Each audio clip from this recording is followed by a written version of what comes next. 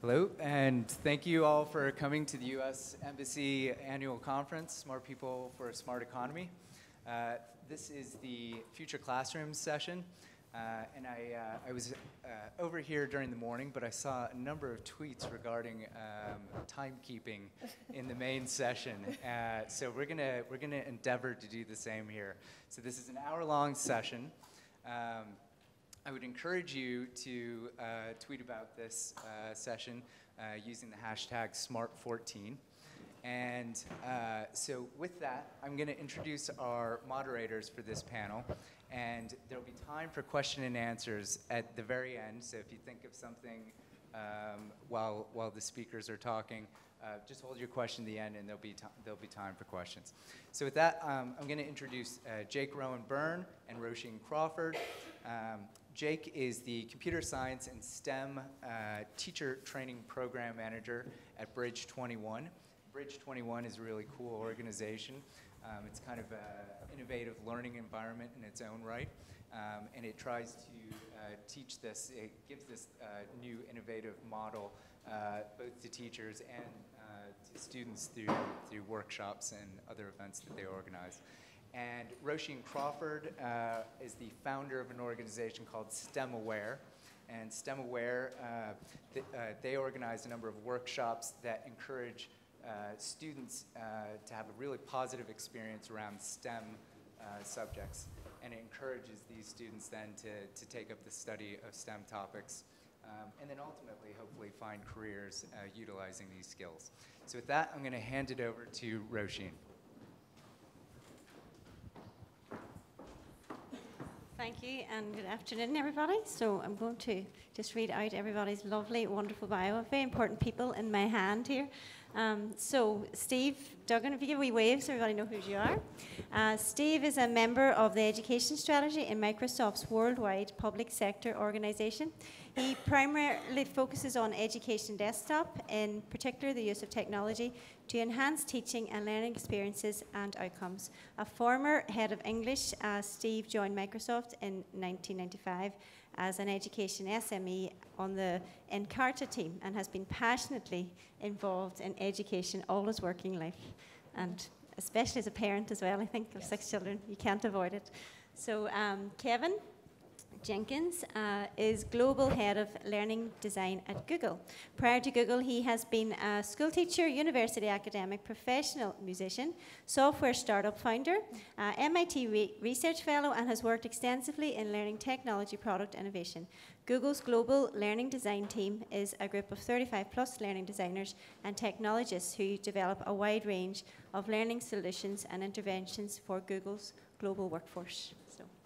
Thank you. And Erik is over here. Erik Heath has joined uh, LinkedIn in 2009, uh, the third attorney hired into Link LinkedIn. Erik has supported the, the myriad of legal needs of LinkedIn product, especially privacy, uh, which is now primarily focused. Um, he currently leads the company's global privacy program and helps advance LinkedIn's policy, public policy goals from LinkedIn's international headquarters in Dublin.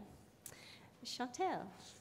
Shauntel uh, Poulson is a principal at New Schools Venture Fund Oakland office, where she focuses on investment strategy, uh, due diligence, and management assistance for the organization's portfolio ventures. Uh, previously, Shauntel was a senior engineer, female engineers here today, um, at Procter & Gamble as an Education Pioneers Fellow and Wireless Generation. Shauntel has recommended program enhancements for the school of one program based on an analysis of student performance data. Thank you. And Bianca.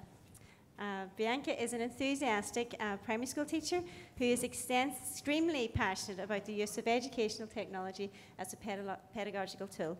Bianca works at Griffeen Valley Educate Together National School in Lucan and is a member of the Computers in Education Society of Ireland National Executive. Thank you all. So we're going to, I'm going to hand it over to Jake here. We'll take it from there. Thank you.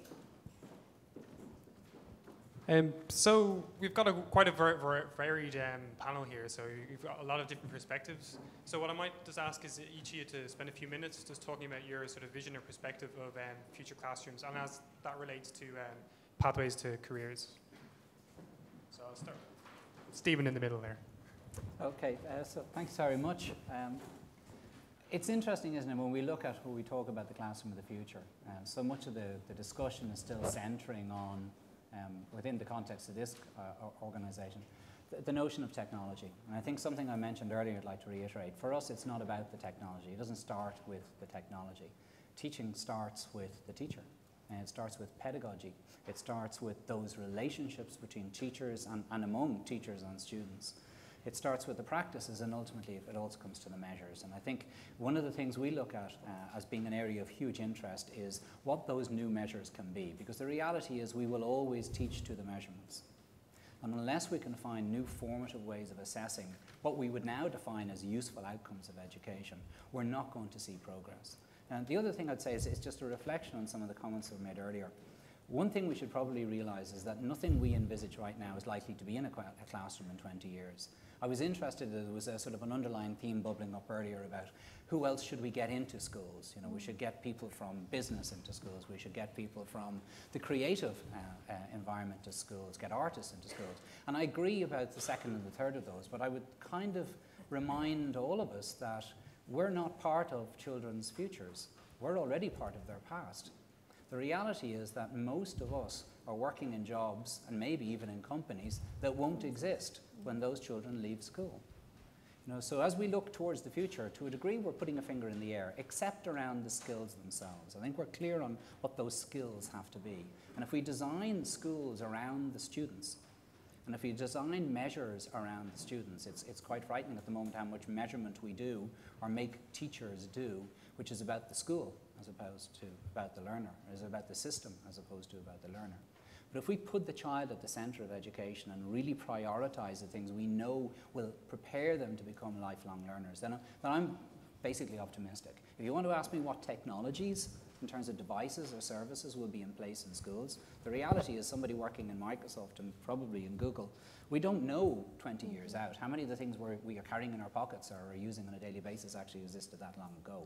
But the skills themselves are, are, are key, and the child has to be at the centre of that development. Great, thanks for that. Um, so Shauntel?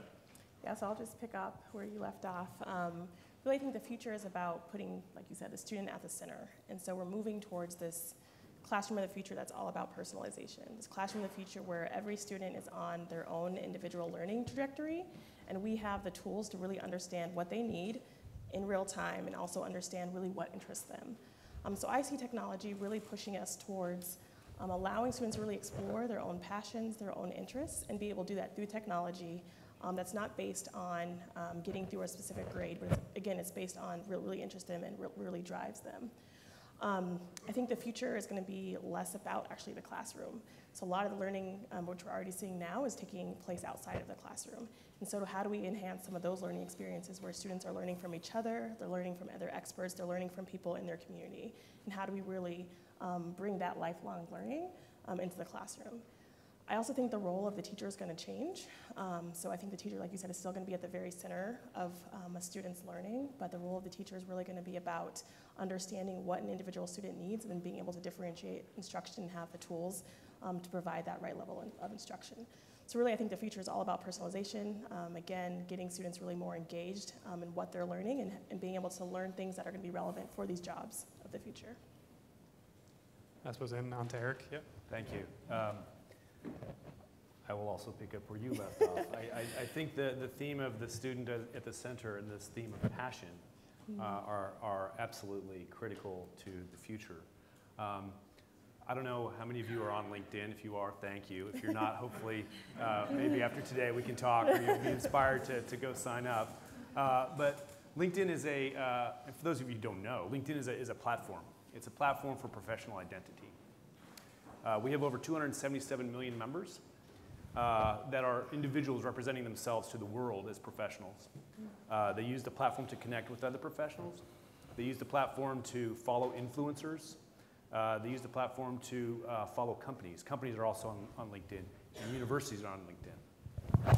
And with this massive information of all our members and companies and the interactions, we have, we have begun developing products that are focused on the student.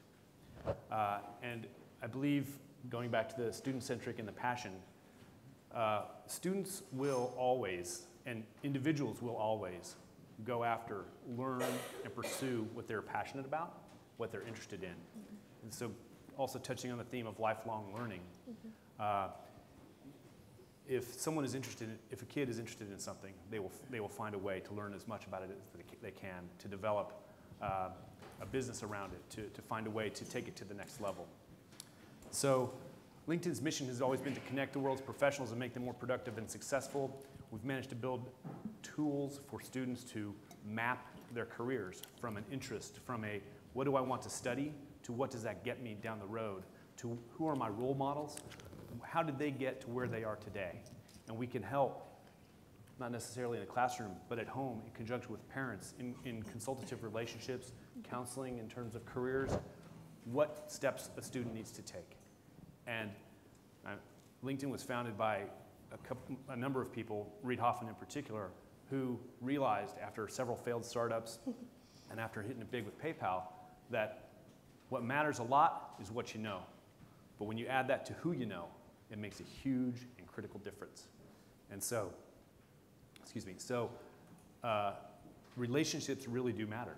And so if you can establish those relationships early in areas that you're passionate about, uh, you know, I think you will find lifelong learning and classrooms can be anywhere. They can be in internships at companies like LinkedIn or Google or Microsoft, or they can be in the classroom, uh, you know, or, or elsewhere. So uh, I look forward to the discussion, and uh, thank you. Thanks, Ed. Um, Bianca? Um, I, I'm, I'm going to go and I'm going to say I'm going to pick up on that as well, and, and I am. Um, I'm Froebel trained, and I suppose my training um, focused on child-centered learning. Um, so that for me is the norm because I don't really know anything different in my own training. Um, how I've ended up sitting here, I'm not too sure. Um, and I'm going to admit from the start, I am a newly qualified teacher, but um, one thing I am is very passionate about my job. I love my job. I miss my children today, um, and I hope they miss me. Um, but if I think about what is it I think, or where do we go, or I don't have all the big answers, but I tell you what I have. The, people very often come up to me and say, oh, it's great that you're doing this and you're doing that and you're trying this, and, and I am getting to do some amazing stuff with some of my children. Uh, I think that comes from, at a very grassroots level, the support from my principal. My principal, although he might not understand what I'm doing, mm-hmm. always says, you know, try it. If it doesn't work, learn from it, or, you know, don't do it again. Um, so that's how I've gotten to try some of the stuff I'm doing.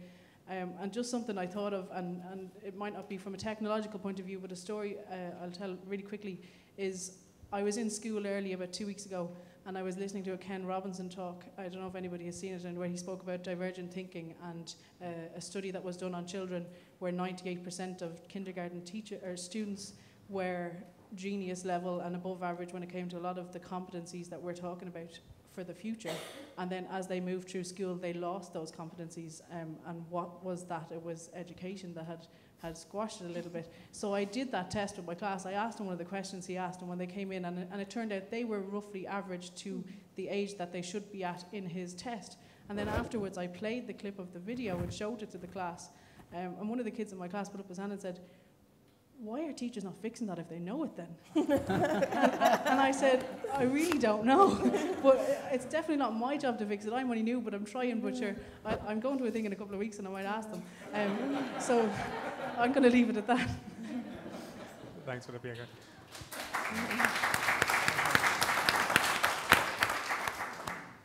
And Kevin? So, uh, as you know, Jake, I'm not going to pick up on anything anybody said and go off on a tangent. um, so um, I, I, wouldn't disagree with anything that's been said. In fact, almost everything has been said, so I've got nothing left to say. Um, I think one of the things in, uh, uh, that I think about this whole topic is um, most of what we teach in schools actually doesn't really matter what we teach, I don't think. I think the what is almost irrelevant. Um, now, I say that, I'll qualify that in a minute, but um, for me, it's about the how. And I have an interesting perspective on this in that I've worked in the education system for a long time and then moved into the corporate sector, as, as you have, other people have. Um, and what I see is that the way we ask children to behave in schools is very different from the ways in which we ask them to behave in a working environment. Um, and so examples would be, for example, in my experience in schools, and this may differ in Ireland from other countries, I can't really speak to that, but uh, we, we, we ask children to do a lot of work on their own. And when they go into a working environment, they will almost never work on their own again. Um, we ask children to solve rote problems. When they go into a working environment, they'll be presented, presented with very complicated problems that don't have easy solutions. Um, we ask kids to do either very small, discrete pieces of work or, or, or very long pieces of work leading to, leading to exams. In, in, in, business, you work in projects, you know, that have a beginning, middle, and end, and a plan. Um, we ask children to take instruction, but we don't ask them to learn how to become autonomous. Um, we never ask them, certainly in the Irish education system, we rarely give them the opportunity to stand up and advocate for something. Um, Whereas in business, typically you need to find a project, be the owner, advocate for it with senior leadership, drive it through, put a team around it, you know. Um, so these are the kind of experiences which are necessary to succeed in the working environment, which we don't provide for children in schools. So it's not about technology, right? Mm-hmm. Um, it's about how we do our business. In Google, we typically hire people based on four, there are four broad criteria. So one is role-related knowledge, one is uh, general cognitive ability, one is around leadership, and one is something called googliness. And if, if you don't know what that is, well, you don't have it, so sorry. uh, it's essentially cultural fit. Um, and of those four things, role related knowledge is by far the least important. We assume you have it. I mean, you can't be an engineer in Google without being an absolutely exceptional engineer, but that's just that's a necessary but not sufficient condition. Um, so my question to the education system would be, what opportunities are we giving children to have the kinds of experiences that prepare them for the kind of challenges they'll face in a working life. And it's not about the content, uh, it's much more holistic. Okay, thanks very much for that. So, sort of uh, some commonalities across the, across the board there. Mm-hmm. Um, so, I, I suppose we'll, we'll do is we'll start off with um, the first question, and uh, whoever wants to take this first can. Um, so, what would you change about a current classroom, um, um, and what would you keep about the current classroom, if, if you would at all um, keep it? So. I'll, I'll, just say one thing to that, which is, uh, and people in Ireland would be familiar, and this is a comment on secondary education in Ireland more than primary education. In primary education, uh, lots of the time kids sit in groups mm. and they face each other. In secondary education, they sit in rows. And so I think, it, certainly at second level in Ireland, the biggest single most important change we could make would be to take the seats and point them at each other. Mm-hmm. Um, I think that's a, it's a, it seems trivial, but actually it would completely radically change everything that was happening in classrooms. So in a way, that's keeping primary school seating, yeah. uh, changing. Yeah, well, make secondary you know, bigger chairs, obviously, right? But, you know, um, but I think this notion of just sitting, looking at something, it's, it, that you fail already. You know. I think one of the things um, I'd like to see change, and it goes back to like what's really expected in the workforce. Um, I think in classrooms too much, and in, in our education system um, kids are always pushed to do the right answer and get the right answer. Um, and there's not enough uh, push or not enough experiences where children actually experience failure. Um, and a lot of times, especially I come from San Francisco, I live in the Bay Area, um, so live in the middle of kind of the startup ecosystem. And it's all about trying things, iterating, and, and failing, and then learning from those failures. So a lot of times in school, you're not, you know, failures are not appreciated. Failures, so students kind of shy away from those hard things. So definitely pushing more experiences um, where students can actually um, fail and then learn from those failures. Um, in terms of what I would keep, um, I think just I would keep um, as much of the kind of collaboration that we can do. Um, I you know we can always see more of it, but in terms of just students working together, students working on projects, a lot of the kind of project-based learning and learning from each other, those pieces I would keep. If, if, if I was to call on one thing I think we need to keep, and I, I, think it's something that's still here in Ireland but is endangered in a lot of places, and that's the celebration of the teacher. Mm. I, I think we really need to elevate the profession. We need to, you know, support the professionals. We need to recognize that they are not the cause of the problem. They are actually passionate advocates for change. Mm. You know, I, I lost count of the amount of evenings travelling around Ireland, going to education centres at nine o'clock at night, and it, there would always be a full class of teachers there who come along to find something new that they could take back into their classroom. That energy and that passion needs to be really celebrated and nurtured, and then supported with the level of professional development that's required for those teachers to bring new practices and new measures into the classroom, to bring about that holistic change. You know, we talk a lot about Finland As an exemplar of, of great education systems. There's one bit which is not rocket science. The top 10% of all graduates in Finland want to be teachers. They want to go into the classroom because the profession is valued, that they're valued as individuals. It's not that they're paid more, than their neighbours in Northern Europe. It's that that profession is seen as something really, really powerful and really, really valuable. And the other thing that they've done right in that area is to offer teachers differing career paths. That it's no longer as it was when I was teacher. You, you were a teacher, you might become a head of department, you could become a vice principal and a principal. That's basically it. So two of those roles are teaching, two of them are middle management and probably the worst job in the world. You know, headmasters have powers that, that dictators only dream of, um, uh, George Orwell said. Yet, yet they, they, in many cases, they don't have the, the, power to promote or reward their best staff and get rid of the staff who are underperforming. So it's, it's a bit of a misnomer. We, we need to celebrate that because when we do that, we see change coming about. And to assume that we can bring about change without bringing teachers with us and giving them the support and, and respecting them, truly respecting them for what they do, you know, we're, we're not going to see change in the way we, we want to. I, I, would, I would echo that coming from the United States. Uh, I agree that uh, teachers there, or I would, I would say teachers there are not uh, held in as high as esteem as they are, for, for example, Finland or, or in Germany. Uh, and I think that, that, uh, that says something. I don't know if it's something good. Uh, but from my, excuse me, from, from my perspective, what I would like to see in terms of classroom change uh, goes to, to something Shauntel said, which is uh, the experience of failure, uh, but I would, I, would, I would phrase it differently. I would say the, the, the, the experience of or fostering kind of a, a process-oriented uh, learning where uh, instead of providing content to the, to the students during the class time, use classroom time to collaborate and to solve problems. Um, uh, you know, there are organizations, I think everybody's heard of the Khan, Khan Academy, which is you know, the idea that you can, you can learn the substance or you can get the details on a YouTube video and you can bring that into the classroom. And in collaboration with your teacher, you can solve the problems that you learned how to solve and you can do that collaboratively. And that process and that learning by doing uh, makes a huge difference in having the student relate to the subject matter as well as becoming passionate about it. Yeah, and it gives more time. Um, I flipped, I did some research on flipped classroom last year, and I've flipped my geography, history, science classes this year, and it gives us a lot more time to work in class and, and to work on problem solving and to work on the competencies that we're talking about that are that are the skills of, of the 21st century. And I heard somebody saying recently, um, you know, the textbook and, and the worksheet are the enemies of the skills we're talking about, and they are. Um, but what would I keep and what would I change? Sorry, I'm going to answer that as well, if you don't mind. Um, I would keep I would keep the peer learning and I would keep the cooperation and the collaboration, but I'd like to make it. I'd like to take that outside the classroom. Mm. Um, and Antishuk spoke earlier about bringing broadband to secondary schools. I have broadband in my school, but I don't have Wi-Fi and I don't have resources to use it. So uh, uh, like, and that's not trying to that's not trying to be smart. That's just that's a fact. Um, if I want Wi-Fi in my class, I bring in my own router. And there's a couple of teachers in the class in the school who have bought their own routers and brought them into the classroom to get a little bit of Wi-Fi going. Um, but we still don't have the resources unless we bring our own devices. And, and I think the outlook uh, needs to change. The, the, the, the methodology or the pedagogy needs to change.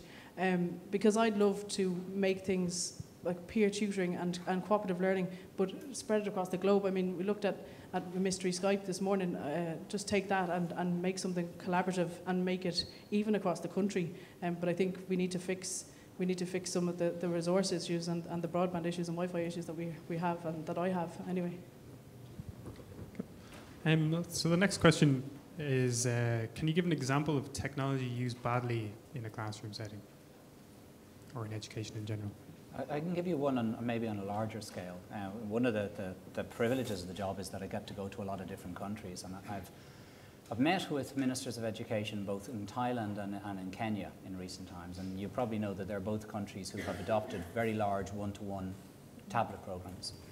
And, and it does appear from what they're saying and, and from some very open uh, conversations they've had is they're recognizing they've started in the wrong way. They've started with the device. Mm -hmm. And they've run it almost immediately into problems. So in Thailand, what they're doing right now is they're having delivered nearly three quarters of a million tablets. They're locking down their usage.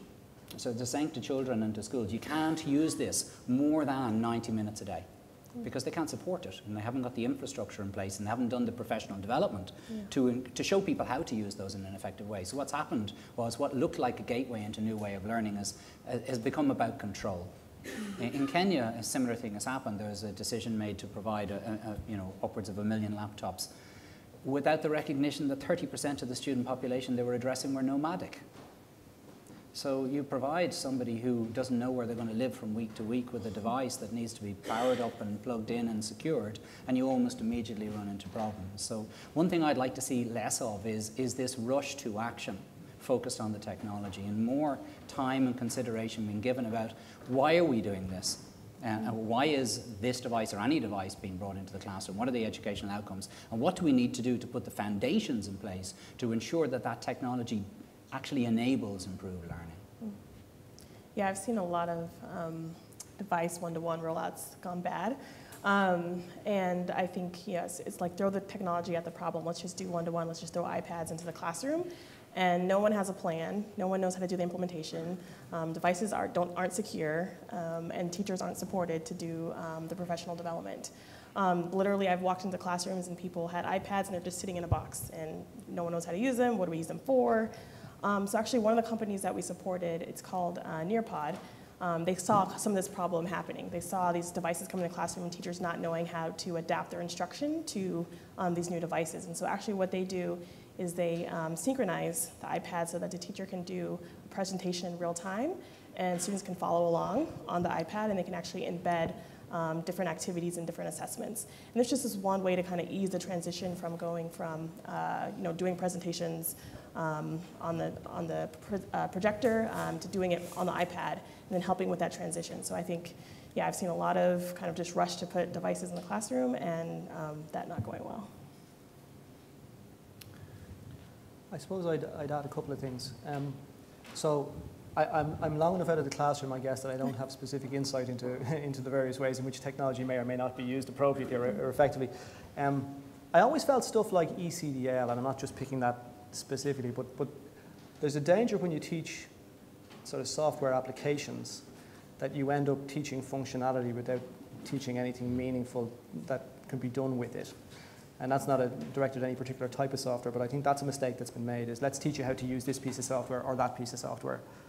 And then what? And you're, you're, you're not learning computing and you're not learning about anything else. Um, so, so I guess that's one of the, the, the observations. Another, th- another observation would be, um, I mean, Papert, if, if, if people are familiar with Seymour Papert, um, um, and one of his observations about the way in which education systems co-opt technologies that should drive change and use them to prop up what we do already. Um, and I wonder sometimes are, are you know, smart boards a, an example of that. Um, my kids came home a while ago talking about an intergalactic whiteboard. Uh, well, that's cool. that's a new generation of smart board that I haven't seen, right? The Um, Guide. but uh, you know, so what? So what's happening now? If it's if you know, in certain cases, I'm sure these things can be used well by adventurous teachers, and you know, so. But there is a danger that that copper fastens this notion that there's somebody standing up there pointing at things. Um, so I'm always wary of technology being co-opted to do whatever it is we're already doing more of. Um, Go ahead. I, I actually have no particular, I mean, uh, I've, I've seen something similar, uh, my kids coming home and doing uh, exercises on the, on, the, on, the, on a computer program that, you know, could easily have been done Done. with, with pencil and paper. sure. And, Yeah, why? yeah. Yeah. It's entertaining, I suppose. Um, I suppose, Steven, I envy you getting to travel and see other teachers because I think as a profession we don't get to see other teachers. Um, so when I got this broad question during the week, I thought to myself, I don't get to see technology being used badly. I hear about it being used badly, but I definitely don't get to see it um, being used badly. Um, and and what I would, I'd go back to kind of the point I made earlier about having the resources and being able to use it. Um, a whiteboard on a wall, an interactive whiteboard on the wall being used the same way as a whiteboard on the wall, or a tablet being used as a book or a worksheet. Um, there's, a, there's a really cool picture that floats around on Twitter every so often, and it, it's a picture of, an, of, a, of a tablet with um, boring stuff on this is still boring stuff. Um, and that's true. Um, so I think taking the technology and, and, and, and using it in a, in a, in a better way uh, that's that should be people's focus if they have it. If they're lucky enough to have it, um, go and figure out how to use it because um, otherwise it's just a, it's sad. It's a sin.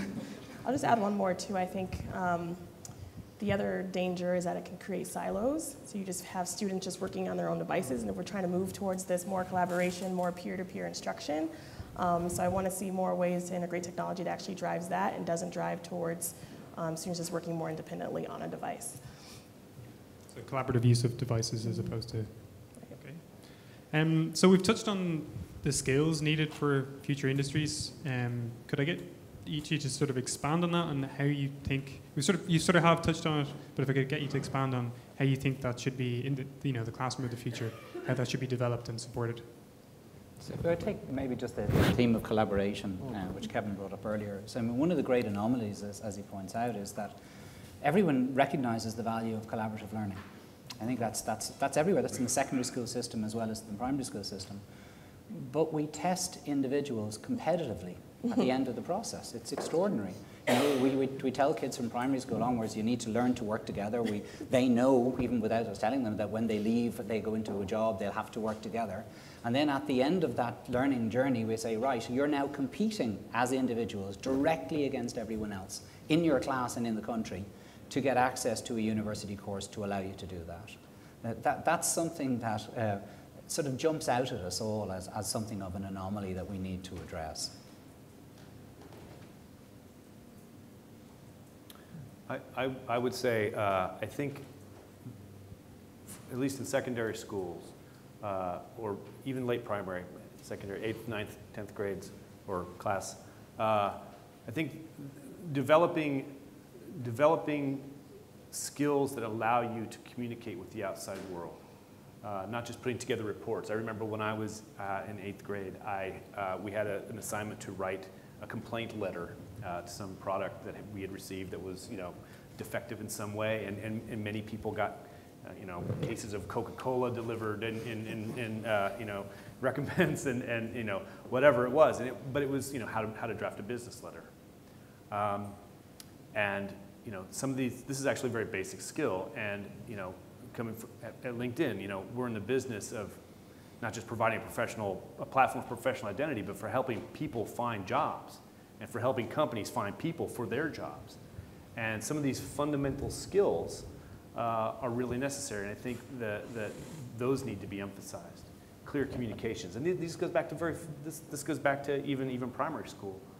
Um, but but I, but I, I think uh, the value of an introduction, how, how, you, how, you, how, you, how you communicate with, I don't know, a company or uh, an executive, uh, these are all things that can be introduced at a very young age that I think would, would, would benefit uh, uh, students in their future careers. And I also think the idea of thinking, well, what do you want to do? What, what is your future career? What, what, how, can you, how can you take your interest and make that into something you're passionate about, something that you want to grow, that's something you want to make a living with? Uh, these, are all, these are all things that, that I think are not necessarily uh, emphasized and could be. Okay, so I'll just build off that. Um, I think it goes a lot to these other skills that are kind of not the non-hard um, skills. Um, some call them non-cognitive skills. I don't like that term.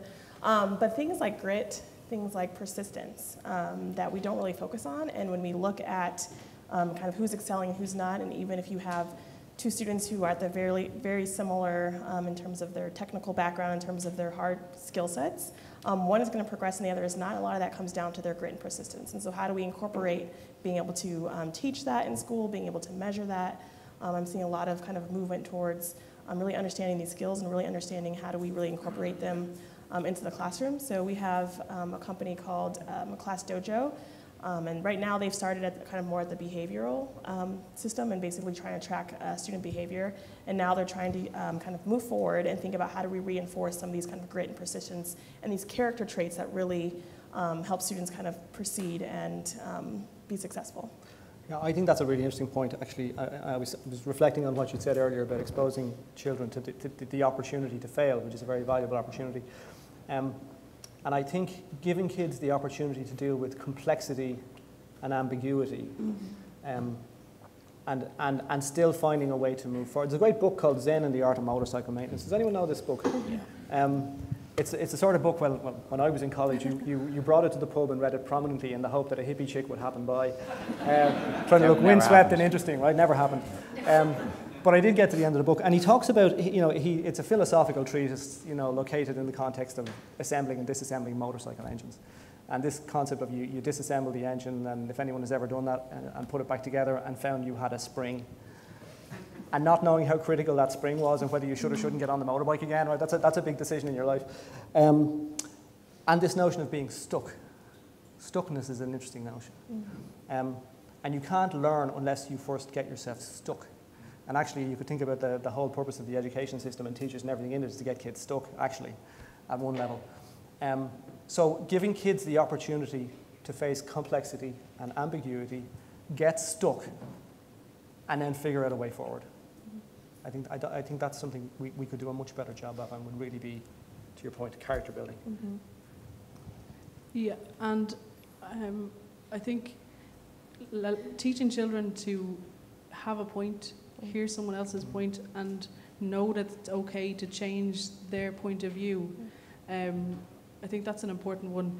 Uh, I think I'm thinking of a group in my class only yesterday who um, started working together on a, on a group project, and the task was um, redevelop something, create something, invent something, make something, do something, off you go. Um, and one of them came back to me after a little while and said, you know, four of us want to do this, but one person wants to do that. And I said, well, that's going to happen to you for the rest of your life, so you need to figure out how to figure that out. And she said, well, can you not just talk to her? And I said, no, I'm not. I'm not in your group. Um, and they, off they went. Now they still haven't got a plan, but I'm sure that the sub who's in with them today is is figuring that one out with them. Um, but that's one thing I think. Being able to have an opinion and being able to change it, and being able to hear someone else's and know it's okay, even if you've screamed from the rooftops about your first opinion, to say actually, you know, I, I- like this one now, and I, and I've changed a little bit. Um, I think they're moving into a world that's going to be extremely, extremely fast, and to learn how to uh, equip them to deal with a fast-pacing, globalized society, um, while at the same time being able to maintain some sort of cultural identity and, and, and, and live in the world they're in. Um, but yeah, no, I think just being able to adapt and being able to be creative and be able to work together, and a lot of what people have just said here already. Thanks for that, guys. Um, so what I'll do is I'll open it up to the floor. Um, I think this man has been wanting to ask a question for a while. How do you do? Uh, Michael here from an educational design company called Exploratory. We'll be launching hopefully next uh, March or April. Um, the question is just leading on from the last question, last uh, discussion. This idea of collaboration of the kids uh, facing each other in the classroom. From your own pedagogical point of view and history and understanding how this works, um, what's more important is that they work on real things in the classroom that they can touch, that's malleable, that is shapeable? Or is it the virtual world that's being pressed upon us now, the connection through Skype phone calls and as such? Is that equally important? Or is, is, there, is there a tier of importance in terms of the learning that you can get from kids when they're in a classroom setting, uh, working on objects that are in the class in the physical space? Who wants to take that? Um, I don't think any, any of this is either or. I think one of the things we've known for a long time is that there are different learning styles. You know, I always reflect anytime we go to an event like this, what percentage of the people in the room are being engaged in the way that they learn best. You know, we have visual learners, we have learn- learners, we have kinesthetic learners, and we have mixed learners. And in general, we don't appeal to all of those types. And I, I absolutely take your point. We've got to incorporate all of those different modalities as we teach. But one of the things that fascinates me is, is the part to which you know, teachers and students and parents and outside influences will start to design schools.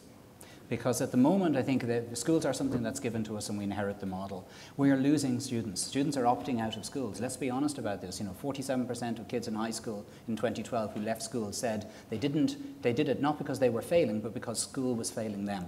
And unless we incorporate them into the design of the school and ask them the question, well, what works best for you? and you, and you, and you, and make sure all of those modalities are included, then we're not going to end up with a really holistic uh, um, environment. I think parents are, is, is also an interesting touch to, uh, point to touch on. Parents are often seen as be, being a problem. You know, they're the holders of the gold standard. They're the people who went through the existing system and therefore don't want the existing system to change. But are they really being brought into the discussion? Are we really including them in the discussion about what's going to happen with their children's education and how can they help to shape and design it? I think those things are going to become much more important if we're going to end up with the sort of immersive learning experiences you're describing. One piece I heard in your question was something about, you know, to what extent, and, and I guess this is at the core of what, what a classroom is, um, to what extent do we need to bring groups of people together to do stuff together in the same place at the same time? And it's interesting, I mean, so in Google, I mean, I run a distributed global team, as you know, potentially some of you guys do. Um, and we have excellent infrastructure. We have always on video conferencing, drop of a hat, can be you know, conferenced into anything with anyone, anywhere, anytime. But even still, we spend hundreds of millions flying people around from one place to another because there are certain kinds of things that we feel can only be done by people being in a room together. Mm-hmm. Um, I, I, wouldn't like to articulate fully what some of those things are, but certainly, you know, when it gets into creative brainstorming, mm-hmm. um, that's something that's very hard to do at distance. So I think there's a, you know, is it possible to have a distributed classroom? Well, you, you, you'll gain something, certainly, but you also maybe risk losing some sense of community. And there are various technologies that would claim to, you know, ameliorate against that. Maybe they do, maybe they don't. Um, but you also lose something about the immediacy of the interaction. You do something and I respond to it immediately in the moment. And out of a group of people doing that, who knows what will emerge. It's much harder to broker, in my experience, those kinds of interactions at distance. Not impossible, but harder. And so I think that's the challenge in terms of if we think about a classroom breaking up and becoming distributed, is trying to be aware of what we potentially could lose um, and how to sort of uh, mitigate against that.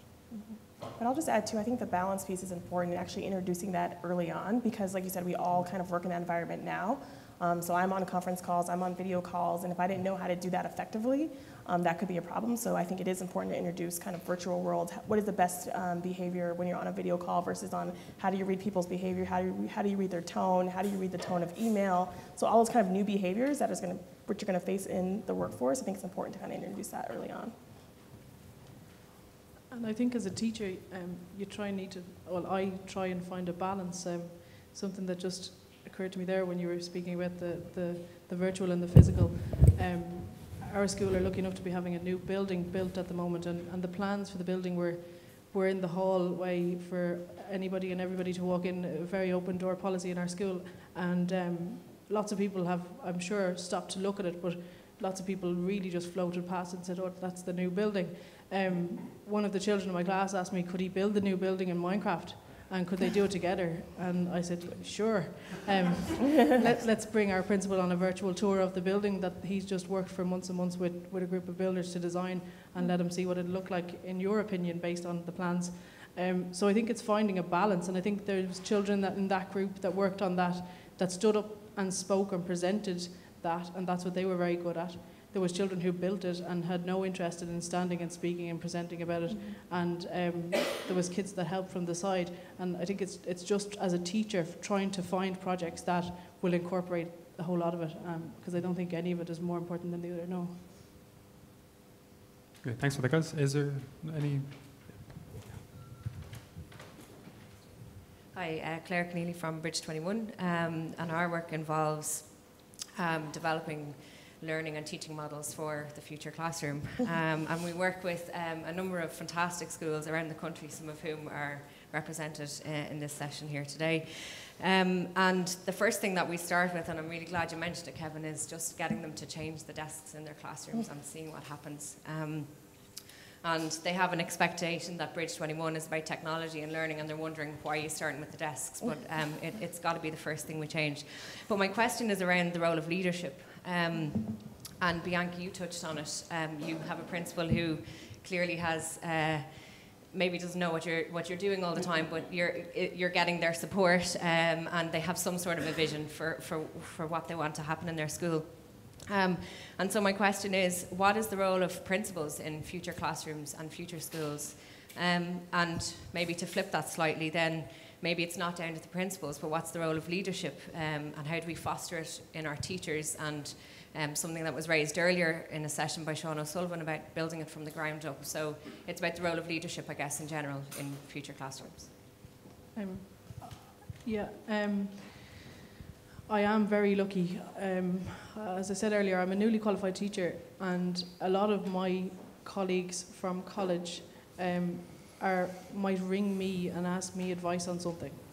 Um, I went back as a mature student, so I am the mammy of the group, and uh, and they ring me and ask me advice, and my and I very often say, why don't you ask your principal?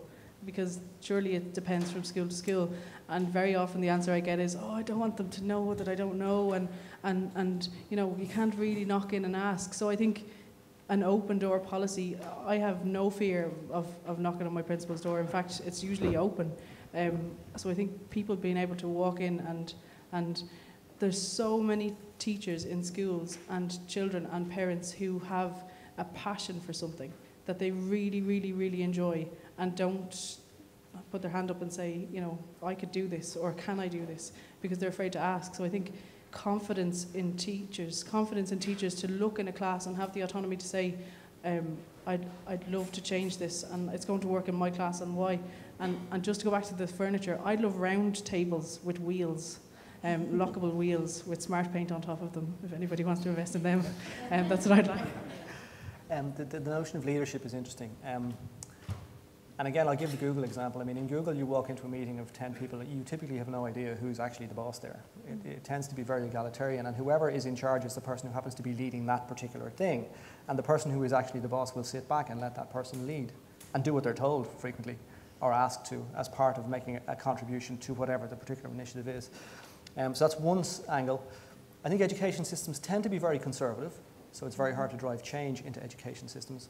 Um, and to your point, you know, how do we how do we enable that change to happen in terms of a sort of a bottom-up perspective? So so I'd connect two things. I would say, how do we enable schools to pull in the various innovative things that are happening around the edges, things like Coder Dojo and so on and so forth. And how do we empower teachers to be leaders and drive those things into the system? And that's really the challenge for me. It's not about top-down leadership. It's not about the principal being a leader. It's about a person who has a vision or an idea who wants to drive it and lead it through the system. How do we empower them and facilitate them to do that? Does anyone else want to come? Yeah, just, just, I think that to, to come in, uh, to come up and, and, and, supporting what Kevin is saying is that leadership is modelled as well, but also leadership has to be supported. You know, I think that the days of the principal being God Almighty, and I taught mm-hmm. under at least two of them, um, are, are, pretty much gone. And that's a good thing for them too. I don't think anyone was ever comfortable with owning every decision and, own, and having to carry the can and everything. I think we're seeing much more distributed leadership within schools. I think that's becoming the norm. But I think there's also a, responsibility for us in industry, um, for parents, um, for the broader communities to re-establish the student as the leader in the education process. Ultimately, it's for them. It's not for anybody else. And they too need to develop the skills of leadership. I am a dreaded principal. I'm principal. I have the very, very pleasant job of being principal of the International School of Dublin which is a primary school. Excuse my voice, sorry. Too much teaching. Um, I, how do we change people's perception about learning from an early age? We take children in full time from the age of three. We follow the International Baccalaureate curriculum. Um, we don't have textbooks. We have modal furniture that moves continually. I hear it over my head the whole time, depending on whatever's being investigated. We have units of inquiry that last for six weeks. Um, we start this at the age of three. How do we get industry to understand that being a three year old in school is really important? They're not there just for the parents to go, ah, sure, they're happy. We take them out, we, we interact with the community, we have what we call open classrooms. So if you're learning about mammals, you will go out and you'll meet with the Dogs Trust and you'll go to the zoo, but you will interrogate the zoo to find out why some of their enclosures don't match the natural habitat of those animal, animals. And at three, year, three years old and four years old, they're taught to actually be able to have the confidence to challenge people and say, but we've learnt this, why is it like that? How do we change people's perception that education is so key right from the beginning? If we don't get it right from three, you've lost them. Just a, one piece of research, if you don't mind me commenting on it. I met with uh, the head of brain science in, in, um, in University of Washington, and you know, of course replied, it's not rocket science, but there you go. Um, she's an incredibly bright woman, but she's written a number of papers about people's ability to, to gain knowledge and absorb learning. And 95% of our learning potential is over by the time we're 5 Mm-hmm. which is extraordinary. So by the time we've left with that last 5%, we then go to school and begin learning. So I think you've hit on something really interesting. Mm-hmm. You know, the, the barriers that we've imposed on, you know, when school starts and when it ends, either within a day or within a life, you know, how we group people by age or by ability, all of those barriers are going to have to disappear if we're going to actually harness the power, particularly in, in really young learners. Yeah. I think also there's, a, there's an element, and a lot of what I'm hearing today is that people's expectation is too low. That our students from the day they come in are expected to give presentations. At the end of their six-week unit, they decide as a cohort how they're going to present and share their learning with their parents. Fantastic. Mm-hmm. Um, so they're used to giving presentations. Communication is the key. Mm-hmm. Our curriculum is completely skill driven, skill and concept driven. There is no content. Mm-hmm. I'll just say first, I commend you on what you're doing. I think that's fantastic. And um, I think there is a lot of research out there. So you're saying we have all this research, we know it's important. Why is not? Why why, why are people not moving? So I think um, what we need are the proof points, and you have that. So you have a proof point where you're showing we have three-year-olds who are doing presentations, and I think just accelerating that those proof points, and I think just um, highlighting that it's working. I think that'll also drive change. So I think kind of beyond the research is actually having um, great proof points and models of what, what does what can happen. It's hard for us because Yeah. small, so Yeah. to try and chip away and say, hello, Yeah, hello." Yeah. You know, I, I train teachers around the world, but I don't train teachers in Ireland. Mm. Um, you know, it is a worldwide proven curriculum, Mhm. um, but it's, it's hard here to try and chip in and, Mm. and find people and say, yeah, come and look Come look what we're doing, yeah. We are open. Bianca, come see us. We'd love to see. I actually taught in an IB school in San Francisco for a year, which I thought was a, it was a really eye-opening experience. Actually, it's a completely different take on it. And I remember uh, it, this was a high school, so it was it was older kids. But uh, at the core of the curriculum was something called theory of knowledge, which, as I understood, it was a combination of philosophy and psychology, essentially, um, and, and, and various other pieces. But the, the, the thrust of that was, we're not going to teach you stuff. We're going to teach you how to think, and we're going to look at how other people have, you know, thought in the past and models for thinking and, and being. Um, as a core that would enable you to explore all kinds of other things. And I always thought that was a really interesting take on it, to make that primary and, and, and central, the sort of metacognitive aspect. It was very interesting. We're going to give you another wee minute just to round up. We're going to get your brains thinking uh, on blue skies, what the classroom will be like in the future. So give you all a wee chance so you're thinking of that. I just want to. I mean, what we've heard today is brilliant in this morning um, on the education. I love Celebrate Teachers. I just love that. Um, that'll be all over Twitter. And I am coming from Northern Ireland, and our curriculum is a bit different um, up there. Um, we've got good things. One of the good things is we have a, a, a topic or a part of the curriculum called PDMU, which is Personal Development Mutual Understanding, and that comes from us having the troubles, unfortunately. So, but from that, we have to celebrate every child and who they are. And where they come from in the community um, and stuff. So that a great way of doing that is projects. Um, and like you had mentioned earlier, Steve, about projects in schools. And, you know, I could point out, and I'm going to do it, I'm going to be real cheeky. And like Sentinus in Northern Ireland, they do projects in schools. Um, we have Culture Tech doing projects, Go Berserk doing projects in schools, and uh, the Nerve Centre make desks for the schools. In fact, the kids make the desks with no with wheels in Fab Lab. And you know, we're learning. We, we sort of think, oh, we're getting there, and then you go to America and you see what things are happening there, and then you hear all this, and we've got so much more to do. And we kind of all collaborate together uh, on the car yesterday on the way down. There's five of us, and we were going back to take on Derry, and then we come here with so much more information. So thank you so much for everything that you've given and shared here from the audience. So on that now, we're going to leave you with uh, one minute each on what the future classroom would look like.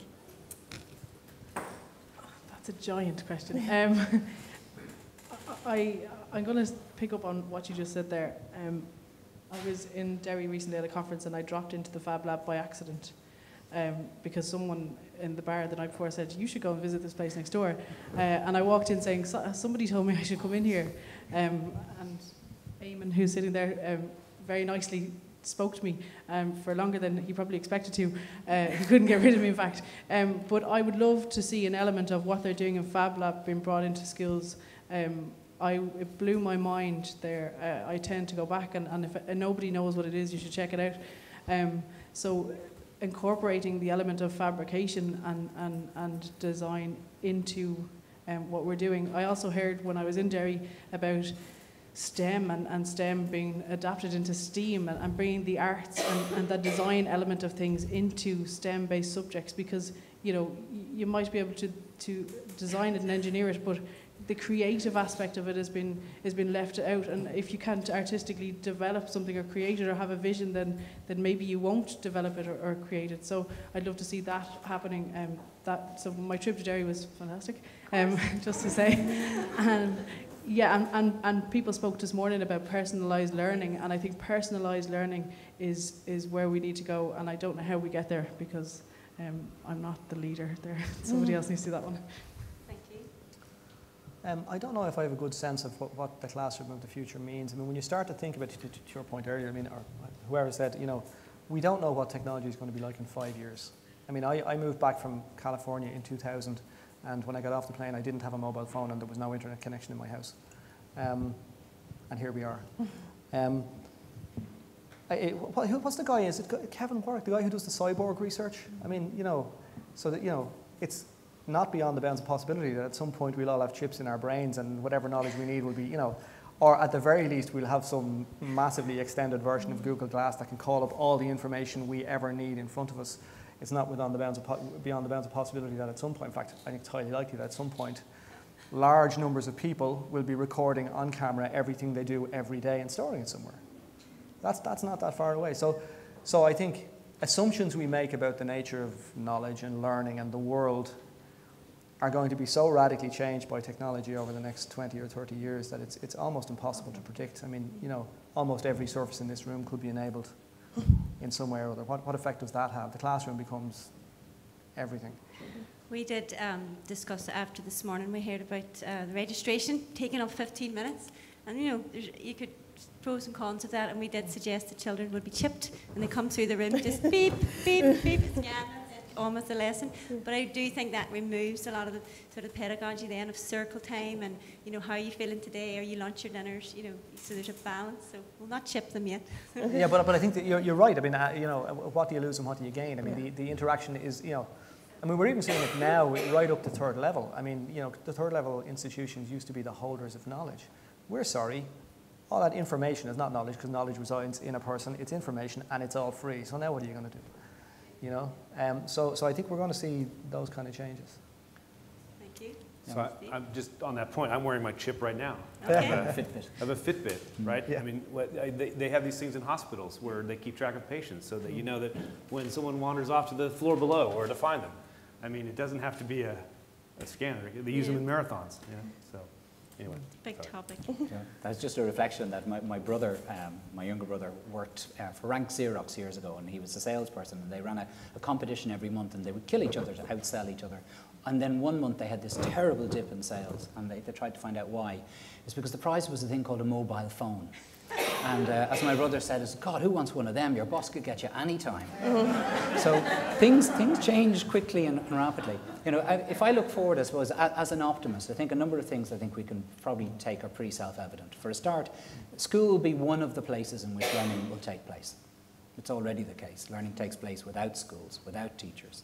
Um, secondly, everyone on the planet will have some form of mobile device which allows them to learn anytime, any place. Mm-hmm because that's already happening. The proliferation of the mobile phone in the developing world proves that that's the case. As an optimist, I'd like to think that what we'll see in the classroom in the future is, first of all, freedom from boring tasks, to, to allow teachers to go back to teach, to do the thing they do best and most creatively. And lastly, my hope would be that we will walk into classrooms of 18 year olds where you'll see the same enthusiasm, the same joy and creativity that you see in a class of three year olds. Yeah, I mean, I'll just echo. I think the classroom is going to be much broader than the school. So there'll be, you know, class will be going to job, class will be your community. Um, but I also think there's going to be a lot more global connections, and I think um, students are going to be become the teachers, become, going to become the experts. um, and going to be helping students from all over the world um, learn. I, I agree with everything uh, that everybody said. Uh, I would also say that integration with uh, schools, classrooms, integration with uh, businesses and enterprises uh, everywhere. Yeah. Um, I think especially once you get into secondary school, 14, 15 years old, you're looking to university perhaps, you're looking to some sort of job, some sort of career, you're going to need some skill set that may not involve, uh, you know, what you're learning in the classroom. You may need to learn how to, I don't know, build hydraulic Yeah. systems or something like that. Uh, and this goes to the discussion around, you know, valuing teachers, valuing trades as you would uh, a professional. Uh, and so I think the classroom does expand. I think it goes beyond the, the, the walls of the school. It goes, it goes into the community and beyond. And um, there's, there's no doubt that that's, that's uh, what, and technology, of course, will just accelerate that. So Thank you. Um, we're, we're going to close. And um, just on that last note, I had uh, your photograph, Steve, of um, the blacksmith and the child. And, and I see myself as that. I'm an engineer, and granted, there are not too many female engineers, Shauntel, and you know that is changing. But my father was an electrician, and I went out with him. You know, mainly because there were six of us, and they had to take one with them, and and that's why. So, uh, parents, I, I love that. Celebrate the teacher and parents um, from what you came today. So, thank you, thank you, everybody.